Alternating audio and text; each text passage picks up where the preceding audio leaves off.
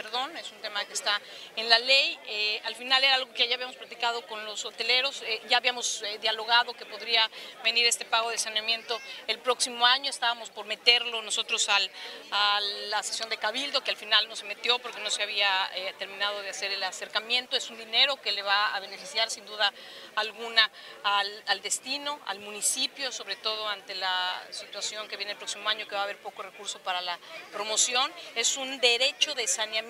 Yo hoy hablé con, con TUI, eh, hablé con Darío Flota, he estado hablando mañana o, más tarde me reúno con Roberto Cintrón, pero sin duda pues será un dinero que viene a beneficiar al municipio. Sí se va, no, sí se va a cobrar, ya está puesto en la ley, sí se va a cobrar nos tendremos un acercamiento hoy con Roberto Cintrón, pero, pero justo en torno a, este tema no es, no es como que no lo quieras cobrar, ¿no? Es, está puesto. Y además, insisto, es un dinero que va a ser en beneficio para el municipio de Benito Juárez, pero además que no lo vamos a manejar nosotros, es un fideicomiso y el fideicomiso decide en qué se invierte y en ese fideicomiso eh, lo más seguro es que tenga mayoría de los...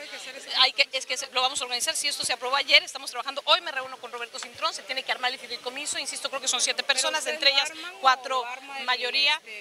Se tiene, hoy tenemos una reunión para saber cómo, cómo se arma y hacerlo a la brevedad posible y sobre todo que los recursos se inviertan donde se deben de invertir. Cuando ya tengamos ese recurso, que será recaudarlo durante todo el 2019, saber en dónde se va a invertir en el 2020 con una total transparencia, que eso es lo que piden los, los hoteleros eh, con justa razón, que se utilice de manera transparente. Por eso el fideicomiso y por eso es importante eh, que tengan eh, participación los hoteleros y me parece que van con mayoría los hoteleros en fideicomiso.